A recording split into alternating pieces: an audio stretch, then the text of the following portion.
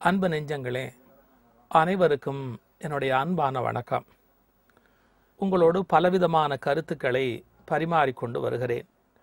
பல சிந்தனைகளை சர்ச்சைக்குரிய சிந்தனைகளை பிரச்சனைகளை கடுமையான எதிர்மறையான கருத்துக்களை கூட உங்களோடு நான் பகிர்ந்து கொண்டு வருகிறேன். ஆனால் இதில் எத்தனை கருத்துக்களை நீங்கள் ஏற்கிறீர்கள் நிராகரிக்கிறீர்கள் பின்பற்றுகிறீர்கள் மறுக்கிறீர்கள் என்பதை அதிகம் தெரிந்து கொள்வதற்கு ஒரு வாய்ப்பு இல்லாமல் இருந்தது. ஆனால் அண்மையில் கணித்து கவனிக்கின்ற ரசிகர்களை சந்திக்கிற வாய்ப்பு கிடைத்தது. அவர்கள் இந்த கருத்துக்களில் பல கருத்துக்களை வாழ்வின் முன்மாதிரியாக ஏற்றுக்கொள்வது விமர்சனங்களாக மற்றவரோடு பரிமாறிக்கொள்வது இதை பதிந்து வைத்துக்கொண்டு நண்பர்களோடு பகிர்ந்து கொண்டு அது பற்றி சர்ச்சை செய்வது என்றெல்லாம் ஆர்வம் காட்டுகிறார்கள் என்பதை பார்க்கிற போது எனக்கு மகிழ்ச்சியாக இருந்தது. நிலம் பெயர்ந்து புலம் பெயர்ந்து எங்கெங்கோ வந்திருக்கிற தமிழ் இன மக்கள் தங்கள் தாய் தமிழை கேட்கவும் தமிழ் வழியான சிந்தனைகளை பரிமாறிக்கொள்ளவும் அதன் வழி தங்களுடைய பாரம்பரியமான பழைய இலக்கிய இதிகாச சமய சிந்தனைகளை எல்லாம் உள்ளே பெறுவதற்கு வாய்ப்பாக இருப்பது குறித்தும் தங்கள் மகிழ்ச்சியை பாராட்டை பல நண்பர்கள் தெரிவித்தார்கள். நாம் அங்கிருக்கிற மக்களுடைய நிலம் பெயர்ந்து புலம் பெயர்ந்து வாழ்கிற மக்களுடைய வாழ்க்கையையும் அதில் அவர்கள் படுகிற சிரமங்களையும் கண்கூடாக பார்க்கிற ஒரு வாய்ப்பு கிடைத்தது. பல பேர் நினைக்கிறார்கள் வெளிநாட்டிலே இருக்கிறவர்கள் வசதியாக இருக்கிறார்கள் நிறைய சம்பாதிக்கிறார்கள் கார் வைத்திருக்கிறார்கள் வீடு வைத்திருக்கிறார்கள் என்றெல்லாம் வெளியிலே இருக்கிறவர்கள் இலங்கையில் இருக்கிறவர்கள் இந்தியாவில் இருக்கிறவர்கள் வெளிநாட்டுக்கு போய் விற்றவர்களை பற்றி ஒரு அபிப்பிராயத்தில் இருக்கிறார்கள். ஆனால் என்ன சிரமப்படுகிறார்கள்? அங்கு இருக்கிறவர்கள் காலை ஐந்து ஐந்தரை மணியோடு பல பேர் வீட்டில் இருந்து வெளியில் புறப்பட்டு விடுகிறார்கள்.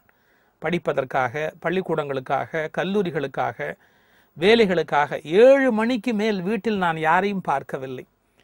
காலை ஏழு மணிக்குள்ளாக புறப்பட்டு நெடுந்தொலைவு பயணம் செய்து பணிக்கு போகிறார்கள். சில பேர் சிரமப்பட்டு வேலைகளை பல இடங்களில் பல சந்தர்ப்பங்களில் இழந்து பெற்று இழந்து பெற்று தங்களை தக்க வைத்துக் கொள்வதற்கு என்ன பாடுபட்டிருக்கிறார்கள் என்பதையெல்லாம் பார்க்கிற போது நீங்கள் மிகுந்த சிரமத்துக்கு பிறகு முன்னேறி இருக்கிறீர்கள். மிகுந்த கஷ்டங்களை எல்லாம் தாங்கி கொண்டு வாழ்க்கையிலே வெற்றி பெற்றிருக்கிறீர்கள் என்பதை என்னால் புரிந்து கொள்ள முடிகிறது. அதற்காக என்னுடைய தனிப்பட்ட பாராட்டுக்கள். அப்படி வாழ்கிற மக்கள் நான் மூன்று செய்திகளை உங்களுக்கு சொல்லுவதற்காக இந்த களத்தை பயன்படுத்திக் கொள்கிறேன். அப்படி வாழ்கிற மக்கள் எக்காரணத்தை முன்னிட்டும் தங்களுக்குள் பிரிவினைகளை வளர்த்து கொள்ளக்கூடாது. ஜாதியின் பெயரால் அல்லது ஊரின் பெயரால் அல்லது வேறு வகையான பாகுபாடுகளின் பெயராலே. நான் மிக நீண்ட விளக்கங்களோடு பலவற்றை சொல்ல முடியாது நீங்களாக புரிந்து கொள்ள வேண்டும். எந்த காரணத்தினாலும் வெளியிலே இன்னொரு நாட்டிலே வாழுகிற போது தங்களுக்குள் பிளவை ஏற்படுத்தி கொண்டு செயல்படுவது நல்லது அல்ல. வெளியிலே தங்கியிருக்கிறவர்கள் நிலம்பெயர்ந்து வாழுகிறவர்கள் புலம்பெயர்ந்து வாழுகிறவர்கள் தங்களுக்குள் கருத்து வேறுபாடுகளை முன்வைத்து பிரச்சனைகளை வளர்த்து கொள்ளக்கூடாது. கூடுமான வரை அங்கு எப்படி ஒற்றுமையாக இருக்கலாம் ஒருவரோடு ஒருவர் எப்படி இணைந்து பேசலாம் இணங்கி போகலாம் மதம் ஒரு தடையாக இருக்கக்கூடாது ஜாதி ஒரு தடையாக இருக்கக்கூடாது அவர் அந்த ஊர்க்காரர் இந்த ஊர்க்காரர் என்று யாரையோ பற்றி பேசுகிற பழக்கங்களை எல்லாம் தவிர்த்து விட வேண்டும். உங்கள் மீது உள்ள அன்பினாலே அக்கறையினாலே சொல்லுகிறேன். அங்கு இருக்கிறவர்கள் ஒருவரோடு ஒருவர் ஒற்றுமையாக புரிந்துணர்வோடு நடந்து கொள்ள வேண்டிய கட்டாயம் இருக்கிறது. இது முதல் செய்தி. இரண்டாவதாக நான் பார்த்த இன்னொரு செய்தி. அங்கிருக்கிற இப்போ சுவிட்சர்லாந்து என்று எடுத்துக்கொள்ளுங்கள் அங்கிருக்கிற வெள்ளைக்காரர்கள் அந்த நாட்டு மக்களுக்கும் புலம்பெயர்ந்து போயிர்களுக்கும் இடையில இருக்கிற இடைவெளி அப்படியே இருக்கிறது. அது மாற்ற முடியாதது. நிறத்தால் இனத்தால் பழக்க வழக்கங்களால் உணவு பழக்கங்களால் கண்டிப்பாக வேறுபாடு இருக்கத்தான் செய்யும். அதை நான் மறுக்க விரும்பவில்லை. ஆனால் ஒரு செய்தி நான் சொல்லிக்கொள்ள விரும்புகிறேன். இந்த உணவு பழக்க வழக்கங்களை முற்றிலும் மாற்றிக்கொள்ள முடியாவிட்டாலும் இங்கிருந்து சுமந்து கொண்டு போன அதே உணவு பழக்கங்களை அங்கும் கடைபிடிக்க வேண்டும் என்கின்ற ஒரு பிடிவாதமான போக்கை கைக்கொள்ளக்கூடாது. அதற்கு காரணம் சொல்லுகிறேன். நான் அங்கிருந்த பலரோடு பேசிய வகையிலே கலந்து பேசிய வகையிலே இங்கிருந்து சென்றிருக்கிற தமிழர்களுக்கு சர்க்கரை நோய் அதிகமாக இருக்கிறது. அங்கிருக்கிற மக்களை விட அந்த நாட்டிலேயே வாழுகிற மக்களை விட இப்படி புலம்பெயர்ந்து போயிருக்கிற மக்களுடைய பிரதானமான சிக்கல் முக்கியமான சிக்கல் என்ன என்று பார்க்கிற போது சர்க்கரை நோய். அதற்கு என்ன காரணம் என்பதை பற்றி கொஞ்சம் பரிசீலனை செய்ய வேண்டும். இப்படி அங்கே சென்ற பிறகும் கூட அவர்களுடைய உணவு பழக்கம் பழைய உணவு பழக்கமாகவே நீடிக்கிறது. நான் விமர்சனம் செய்வதாக தயவு செய்து யாரும் எண்ணிவிடக்கூடாது. மறுபரிசீலனை செய்ய வேண்டும் என்பதற்கான விண்ணப்பம் இது. உணவிலே புட்டு இடியாப்பம் இவை திரும்ப திரும்ப சாப்பிடுகிற வழக்கம் அங்கிருக்கிற மக்களுடைய உணவு பழக்கமாக இருக்கிறது. இது உடலுக்கு நல்லது என்று நெடுங்காலமாக போதிக்கப்பட்டிருக்கிறது. உண்மை. எந்த சந்தர்ப்பத்தில் நல்லது எந்த சந்தர்ப்பத்தில் கெட்டது என்கிற ஒரு விவேகம் வேண்டும். மாவு பொருள்கள் தொடர்ந்து உடம்பில் சேர்க்கப்படும் என்று சொன்னால் சர்க்கரை நோய் கட்டுப்பாட்டுக்கு வராது. தயவுசெய்து இதை புரிந்து கொள்ள வேண்டும். அங்கு கிடைக்கிற ஓட்ஸ் போன்ற உணவுப் பொருட்களை எடுத்துக்கொள்வதற்கு பழக வேண்டுமே ஒழிய சோளம் ஓட்ஸ் போன்ற தானியங்களை முழுமையாக சாப்பிடுகிற ஹோல் கிரைன் என்று சொல்கிறார்களே அப்படி முழுமையான தானியங்களை சமைத்து சாப்பிடுகிற பழக்கத்தை மேற்கொள்ள வேண்டுமே ஒழிய இங்கிருந்து சுமந்து போன உணவு பழக்கத்தை நீடிக்க வேண்டும் என்ற விருப்பத்தில் பெருவாரியான மக்கள் இடியாப்பம் புட்டு உருளைக்கிழங்கு மூன்றைத்தான் அதிகமாக எடுத்துக்கொள்கிறார்கள் இது சர்க்கரை நோய்க்கு யமனாக முடியும் என்பதை தயவு செய்து தெரிந்து கொள்ள வேண்டும். காரணம் மாவு பொருள்கள் குடலிலேயே தங்கி விடுகின்றன நான் பார்த்த வரையிலே இடியாப்பத்தை விட்டு புட்டை விட்டு அடுத்து ஏதாவது சாப்பிடலாமா என்று அவர்களை கேட்டால் பரோட்டா என்று யோசனை சொல்கிறார்கள். அது யமனுக்கு யமன். இவையெல்லாம் யமன் என்று சொன்னால் அது யமனுக்கு யமன். காரணம் மாவு பொருள்கள் குடலில் அப்படியே தங்கி கொண்டு சர்க்கரை நோயை பல மடங்கு விருத்தி செய்யக்கூடிய உடலை தொந்தரவு பண்ணக்கூடிய சர்க்கரையின் அளவு இரத்தத்தில் கூட்டக்கூடிய வலிமை மைதா மாவுக்கும் உண்டு. இதை எப்படியாவது தயவு செய்து எல்லோருக்கும் சொல்ல வேண்டும் என்ற ஒரு ஆசையினாலே நான் இந்த தளத்தை பயன்படுத்திக் கொள்கிறேன். காய்கறிகளை நிறைய சேகரித்துக் கொள்ள வேண்டும். ஓட்ஸ் போன்ற தானியங்களை உணவிலே அதிகமாக சேகரிக்க வேண்டும் சேர்த்துக்கொள்ள வேண்டும். இப்படி மாவு பொருள் குறிப்பாக புட்டு போன்றவை முழுக்க முழுக்க மாவு பொருள். இன்னும் யாழ்ப்பாணத்திலே உணவு கொண்ட பழக்கத்தில் தேங்காய் அதிகம் சேர்த்துக் கொள்கிற பழக்கத்திலே இருந்து கூட அங்கிருக்கிற தமிழ் பெருமக்கள் மாறவில்லை. இது ஆபத்துக்கு ஆரம்பம். காரணம் இந்த உணவு பழக்கம் மீண்டும் மீண்டும் மீண்டும் உங்களை சர்க்கரை நோயாளியாக ஆக்குவதற்குரிய மிகுந்த வலிமையான ஒரு உணவு பழக்கம். இது குறித்து நீங்கள் பரிசீலனை செய்ய வேண்டும். நான் ஒரு சகோதர உணர்வோடு உங்களுக்கு சொல்லுகிற எல்லாமே நல்லது என்ற எண்ணத்தில் சொல்லுகிறேன். உணவு சாப்பிடுவதிலும் அங்கு இருக்கிற மக்களுடைய பழக்கத்தை பார்க்கிற போது நான் மனம் திறந்து ஒரு கருத்தை சொல்ல வேண்டும் என்று விரும்பினேன் தமிழகத்திலே உணவு பரிமாறுவது சாப்பிடுவது என்பதே ஒரு வித்தியாசமான கலை. இலை அதில் தனித்தனியாக காய்கறிகள் தனியாக சாதம் முதலில் பருப்பு பிறகு குழம்பு பிறகு ரசம் பிறகு பாயசம் இறுதியாக மோர் என்று சாப்பிடுகிற ஒரு உணவு கலாச்சாரம் இருக்கிறது. ஆனால் அங்கு சாப்பிடுகிற நம்முடைய நண்பர்கள் தட்டிலே நடுவிலே சாதத்தை வைத்துக்கொண்டு சுற்றிலும் காய்கறி ரசம் தயிர் எல்லாவற்றையும் ஒன்றாக வைத்துக்கொண்டு கலந்து சாப்பிடுகிறார்கள் இது சிறந்த பழக்கம் அல்ல நான் யாரையும் விமர்சிப்பதற்காக சொல்லவில்லை இது நல்ல பழக்கம் அல்ல தனித்தனியாக ஒவ்வொன்றினுடைய சுவையும் தெரியும்படியாக பிரித்து சாப்பிடுவதுதான் ஒரு சிறந்த உணவு பழக்கமாக இருக்க முடியும். என் பேச்சை உபதேசமாக எடுத்துக்கொள்ள வேண்டாம். கிரிட்டிசிசம் விமர்சனமாக எடுத்துக்கொள்ள வேண்டாம். எது சிறந்ததோ அதை சொல்லிவிட்டேன். கேட்பதோ கேட்காததோ உங்கள் விருப்பம். ஆனால் இத்தனை தொலைவு சென்ற பிறகும் தாய் தமிழை பேணுகிற உணர்வு தமிழ் மொழியை பாதுகாக்கிற உணர்வு அதற்கு நான் மனம் கனிந்து அவர்களை பாராட்ட வேண்டும். பலரது அன்புக்கு பாத்திரமாக நான் இருந்த அந்த நாட்கள் மறக்க முடியாதவை. மனத்தை நிம்மதியாக வைத்துக் கொள்ள வேண்டும். நான் என் மனதை எப்படி நிம்மதியாக வைத்துக் கொள்வது என்கிற கேள்வியை பல பேர் எங்களிடத்திலே கேட்பார்கள்.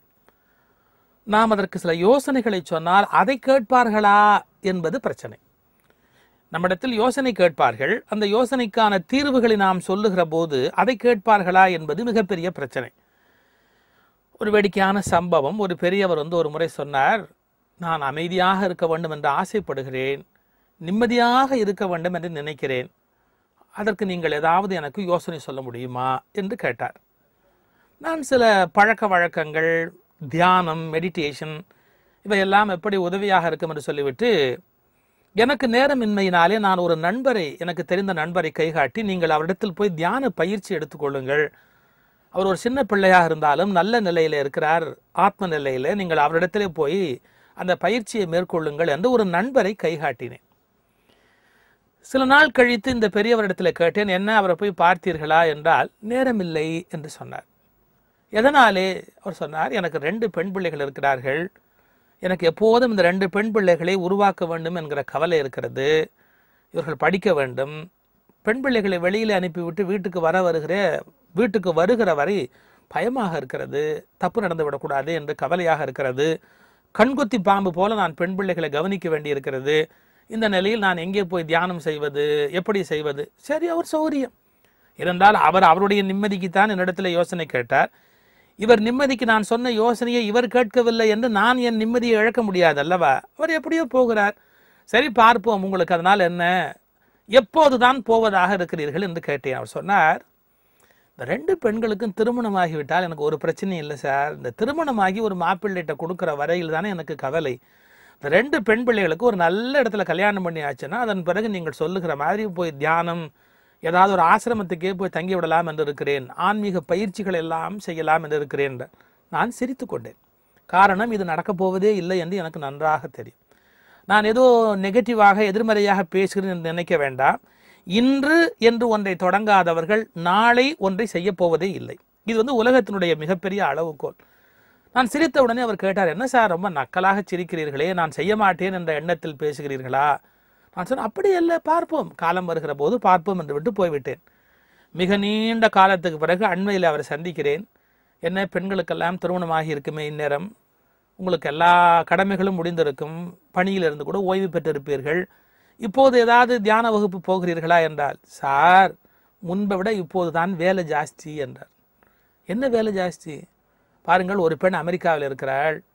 அதனால் அவளுக்கு பிள்ளை பேரு என்கிற போது நான் அங்கு போக வேண்டியதாகிவிட்டது உங்களுக்கு தெரியுமா அமெரிக்காவில் இருக்கிற பெண்களுக்கு பிரசவம் பார்த்தால் பிரசவம் பார்த்த பிறகு குழந்தையை பார்த்து கொள்கிற அந்த சைல்டு சீட்டர் குழந்தையை பராமரிக்கிற பெண்மணியை போட்டால் ஆயிரம் டாலர் சம்பளம் கொடுக்க வேண்டுமாம். நீங்கள் இந்திய ரூபாய்க்கு பெருக்கி பார்த்தால் நாற்பதாயிரம் ரூபாய் வருகிறது மாதம். நான் இருந்த எண்ணத்தை கண்டேன். போய் அங்கு நானும் என் மனைவியுமாக உதவிக்கு போய் உட்கார்ந்தால் நாற்பதாயிரம் நாற்பதாயிரம் எண்பதாயிரம் ரூபாய் என் மகளுக்கு மிச்சமாகும் அல்லவா? அதற்காக நானும் என் மனைவியும் போய் பிரசவத்துக்கு அங்கே இருந்தோம். சரி. பிரசவம் முடிந்த பிறகு ஆறு மாதம் தான் விசா கொடுத்தார்கள். ஆறு மாதம் முடிந்த பிறகு திரும்பி வந்து விட்டோம். சின்ன பெண்ணுக்கு இங்கே கல்யாணம் பண்ணலாம் என்று சின்ன பெண்ணுக்கு கல்யாணம் பண்ணி வைத்தோம். இப்போ பாருங்கள் சார் ஏகப்பட்ட வேலை என்றார். என்ன எனக்கு கொஞ்சம் புரியும்படியாக சொல்லுங்கள். பெரிய பெண் அங்கே இருக்கிறாள். அவள் வீட்டுக்கு எலக்ட்ரிக் பில் கட்ட வேண்டும். அவள் வீட்டுக்கு தண்ணீர் சப்ளை துண்டித்து விடுகிறார்கள். சரியான நேரத்தில் கட்டவில்லை என்றால் சொத்து வரி கட்ட வேண்டும். பார்த்து பார்த்து பார்த்து எப்போதும் இதே கவலையாக இருக்கிறேன். சின்ன பெண்ணுக்கு கல்யாணம் ஆகி ஒரு பையன் பிறந்து விட்டான். அந்த பையனை ஸ்கூலுக்கு கொண்டு போய் விடுவது திரும்ப கூட்டி கொண்டு வருவது இப்படி என்னுடைய நேரம் ஓடிக்கொண்டே இருக்கிறது. இவர் என்றைக்காவது ஆன்மீக பயிற்சி எடுக்க போகிறாரா? இவர் என்றைக்காவது ஞானத்தை நோக்கி ஒரு ந- ஒரு ஒரு ஒரு ஸ்டெப் ஒரு அடி வெளியில் எடுத்து வைக்க போகிறாரா? இல்லை. ரொம்ப பழைய பழமொழி சொல்வார்கள் அலை எப்போது ஓய்வது தலை எப்போது மூழ்குவது என்று ஒரு பழமொழி. கடலில் அலை ஓய்ந்த பிறகு நான் தலை மூழ்குகிறேன் என்று சொன்னால் நடக்கிற காரியமா? பல பேர் ஆன்மீகத்தை பற்றி பேசுகிற போது ரொம்ப சுலபம் போல் நினைத்துக் கொள்கிறார்கள். நான் கூட ஒரு குறிப்பிட்ட காலத்துக்கு பிறகு ஆன்மீக பயிற்சிக்கெல்லாம் வரலாம் என்று இருக்கிறேன். நான் தியானம் செய்யலாம் என்று இருக்கிறேன் இதெல்லாம் சொல்லுகிறார்கள். இது நடக்கிற காரியம் இல்லை. ஏனென்றால் உடனடியாக இதை செயலுக்கு கொண்டு வராதவர்கள் என்றைக்குமே கொண்டு வரப்போவது இல்லை. இவரிடத்துல என்ன சொன்னார்? ரெண்டு பெண்களுக்கு திருமணமாகிவிட்டால் எனக்கு வேலை இல்லை என்றார். ரெண்டு பெண்களுக்கு திருமணம் முடிந்த பிறகு பேரனை பள்ளிக்கூடத்துக்கு கூட்டிட்டு போவது கணவன் மனைவி ரெண்டு பேரும் வேலைக்கு போகிறார்களாம் அதாவது மகளும் மாப்பிள்ளையும் வேலைக்கு போகிறார்களாம் அதனாலே அந்த பிள்ளைக்கு பாடம் சொல்லி கொடுப்பது கதை சொல்வது பேரனை பாதுகாப்பது என்று நேரமே பத்தலை சார் என்று ஒரே வார்த்தை சொல்லிவிட்டார். இந்த உதாரணத்தை எதற்கு சொல்லுகிறேன்? நூற்றுக்கணக்கான மக்கள் இப்படித்தான் தங்கள் வாழ்க்கையை மீண்டும் மீண்டும் மீண்டும் பந்தங்களுக்குள்ளேயே சிக்கி கொண்டிருக்கிறார்கள். ஒரு எல்லையிலாவது இதை விட்டு விட்டு வெளியில் எங்காவது போக வேண்டும். காரணம் நிம்மதி என்பது வெளியிலிருந்து வருவது அல்ல. நிம்மதி என்பது உள்ளிருந்து தோற்றுவிப்பது. நீங்களாகவே பிரச்சனைகளை விலைக்கு வாங்கி கொண்டு பிரச்சனையிலிருந்து விலகாமலேயே இருந்துவிட்டு நிம்மதியாக இருக்க முடியவில்லை நிம்மதியாக இருக்க முடியவில்லை என்றால் இதற்கு என்ன காரணம் என்று யோசித்தீர்களா? எனக்கு சம்பவம் முக்கியம் அல்ல சம்பவத்தின் அனுபவம் முக்கியம். பிரச்சனைக்கு காரணம் சம்பவங்கள் அல்ல உங்கள் மனம். உங்கள் மனம் அதிலிருந்து விலக மறுக்கிறது. உங்கள் மனம்தான் இன்பத்தை சிருஷ்டி செய்கிறது. உங்கள் மனம்தான் துன்பத்தை சிருஷ்டி செய்கிறது. இன்ப துன்பம் என்பது சம்பவங்களிலே இல்லை உங்கள் மனதிலே இருக்கிறது. இன்னொரு உதாரணம் சொல்கிறேன். ரொம்ப நாளைக்கு பிறகு தன்னுடைய நண்பர் ஒருவரை ஒருவர் பார்த்தார். நண்பர் சொன்னார் வாருங்கள் நான் ஒரு ஃபார்ம் ஹவுஸ் வாங்கியிருக்கிறேன் பண்ணை வீடு வாங்கியிருக்கிறேன். இன்றைக்கு மாலை வாருங்கள் உற்சாகமாக இருக்கலாம். உற்சாகம் என்றால் உங்களுக்கு அர்த்தம் தெரியும் உற்சாக பானத்தோடு கொஞ்சம் ஜாலியாக இருக்கலாம் என்று பத்து வருடங்களுக்கு முன்பு பார்த்த நண்பர் அழைத்தார். இவருக்கு கைகாலெல்லாம் பரபர பரபரன்னு இருக்கிறது ஆ ஜாலி. இன்றைக்கு போகலாம் அடுத்த ஒரு செலவில் குடிக்கலாம் அடுத்த ஒரு செலவில் சாப்பிடலாம். குடிப்பதே பல பேருக்கு சந்தோஷம். அதுவும் அடுத்தவன் செலவு என்றால் பல பேருக்கு ஆனந்தத்தின் உச்சிக்கே போய் விடுவார்கள் உடனே பண்ணை வீட்டுக்கு மாலையிலே பரபரப்பாக புறப்பட்டு ஊருக்கு வெளியில் இருக்கிற அந்த பண்ணை வீட்டுக்கு போனார். நண்பர் வரவேற்றார். குடிப்பதற்கு பானமெல்லாம் கொடுத்தார். ஒரே மிதப்பு. நண்பர் உற்சாகத்திலே மகிழ்ச்சி மகிழ்ச்சி சந்தோஷம் என்றிருந்தார். திடீரென்று நண்பருக்கு ஒரு ஃபோன் வந்தது. ஊரு உள்ளே ஊருக்குள்ளே ஏதோ ஒரு அவசரமான பிரச்சனை தொழில் நிமித்தமாக ஏதோ ஒரு பிரச்சனை வந்து விட்டது. உடனே சொன்னார் நான் உங்களை கூப்பிட்ட நேரம் பாருங்கள் எனக்கு சோதனை வந்து விட்டது. நீங்கள் இங்கேயே இருங்கள் இரவு சாப்பிட்டு விட்டு இங்கேயே தூங்குங்கள். இங்கே விருந்தெல்லாம் ஏற்பாடாக இருக்கிறது. ஆனால் நான் அவசரமாக ஊருக்குள் போக வேண்டி இருக்கிறது. நீங்கள் இங்கேயே சாப்பிட்டு விட்டு இரவு தூங்கி விட்டு காலை போகலாம் என்று இந்த நண்பரை விட்டுவிட்டு வீட்டுக்கு உரியவர் புறப்பட்டு போய்விட்டார்.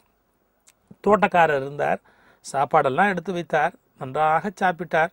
ஒரே உற்சாகம். அடுத்தவன் செலவில் அருமையான சாப்பாடு பிரமாதமான சாப்பாடு எல்லாம் சாப்பிட்டார். இரவு மணி பத்தாயிற்று. படுக்க வேண்டிய நேரம்.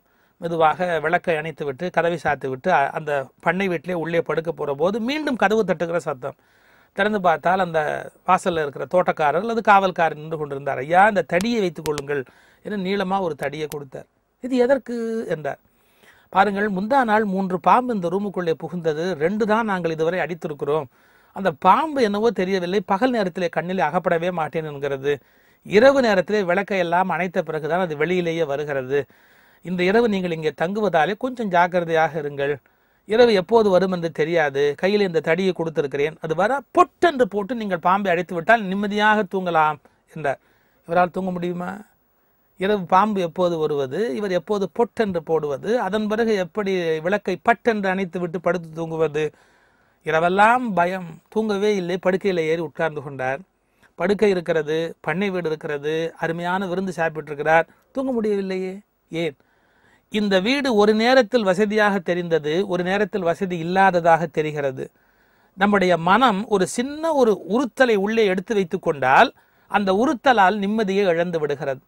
இந்த உறுத்தலை வெளியில் எடுத்து வைக்க தெரிந்தவர்கள்தான் சௌகரியமான வாழ்க்கையை வாழ முடியும். நாமவே உறுத்தலை எடு- ஒரு பழமொழி வேலியிலே போகிற ஓனானை எடுத்து எதற்காக உள்ளே விட்டுக்கொண்டு அவசியப்படுகிறாய் என்று ஒரு பழமொழி சொல்வார். சாதாரண பழமொழி அல்ல. நமக்கு பிரச்சனைகள் வெளியிலிருந்து தானாக வருவதல்ல. நாம எடுத்து உள்ளே வைத்துக் கொள்கிற பிரச்சனைகள் தான் நூற்றுக்கு தொண்ணூறுக்கு மேல் பிரச்சனையாக இருக்கிறது.